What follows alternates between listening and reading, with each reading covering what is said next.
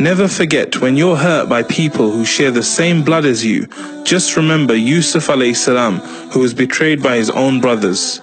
If you find your parents opposing you, remember Ibrahim salam, whose father led him to the fire. If you're stuck with a problem where there's no way out, remember Yunus salam, stuck in the belly of a whale.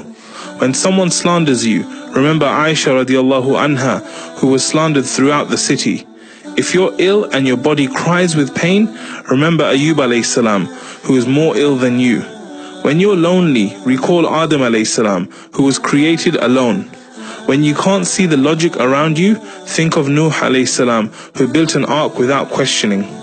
If you are mocked by your own relatives, family, friends, and the world at large, remember our dear Prophet Muhammad sallallahu alayhi wasallam. Allah put these prophets and companions to trials so that later generations may learn a lesson of patience and perseverance. So endure with beautiful patience.